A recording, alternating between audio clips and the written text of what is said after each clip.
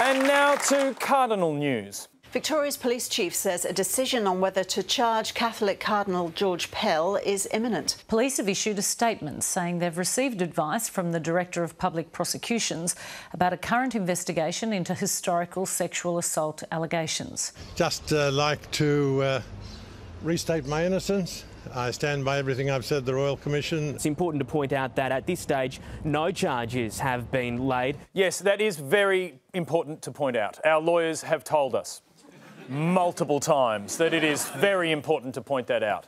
In addition to the investigation, there are startling claims about both Pell and his lawyers from journalist Louise Milligan's new book, Cardinal The Rise and Fall of George Pell. We then got letters asking us to destroy all of their correspondence. All of whose correspondence? All of Cardinal Pell's solicitors' correspondence. So you got a letter from Corrs, the, the law firm that's acting for him and the church, saying, Could you destroy all the letters we've written to you? Yes. And they even went on to say if we didn't destroy it all, then we could return it. Now, I'm These not. are letters sent to you. Letters sent to us. I am not in the business of destroying documents. Well, then, Louise, you would be terrible at tax evasion. so, what happens if charges are laid?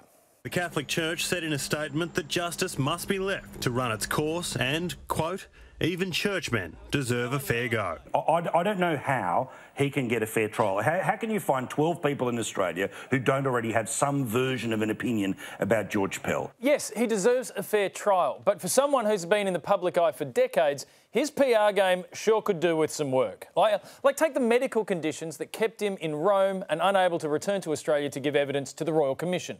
The medical report was written by a Professor Patrizio Polisca, who found evidence of high blood pressure, heart disease, a previous heart attack, and cardiac dysfunction. Plus, His Eminence's new Guns N' Roses tattoo had become badly infected. But Cardinal, buddy, after everyone's found out you've got a dodgy ticker, maybe don't be snapped roughly two months later, wolfing down steak and chips while smashing a beer. Or, given your health concerns regarding flying, maybe don't be spotted arriving at Heathrow a few weeks ago after jetting in from Rome.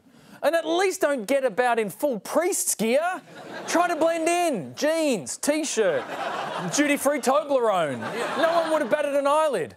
I don't know, maybe you had a very special event to attend in London, like Pippa Middleton's Hens Night. Fair enough. Fair enough, Your Eminence. You can't fly long haul. But your little London jaunt shows us you are capable of handling three hour flights.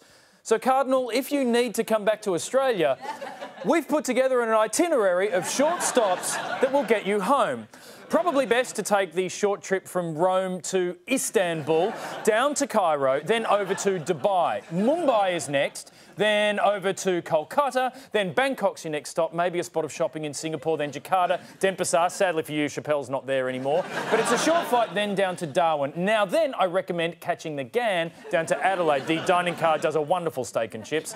And then it is just a short trip from Adelaide to Melbourne. And Cardinal, I'll have a frosty one waiting for you.